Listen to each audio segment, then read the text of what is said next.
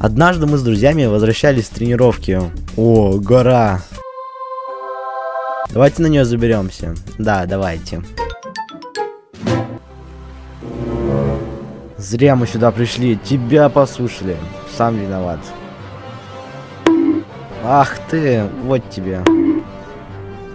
Хватит спорить. Ой.